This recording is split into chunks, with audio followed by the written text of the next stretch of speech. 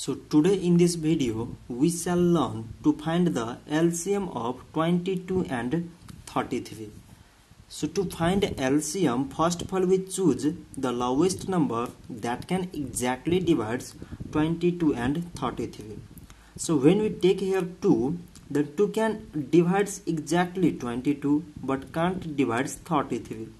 So when we take the number 3 then 3 can exactly divides 33 but can't exactly divides 22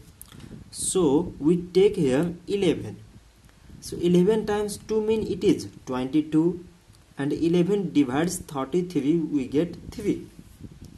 so now we have here 2 and 3 which are not exactly divisible by the same number. So its LCM is equal to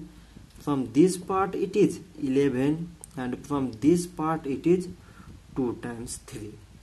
so 11 times 2 mean it is 22 and 22 times 3 mean it is 66 so 66 is the LCM of 22 and 33 so this much for today and thanks for watching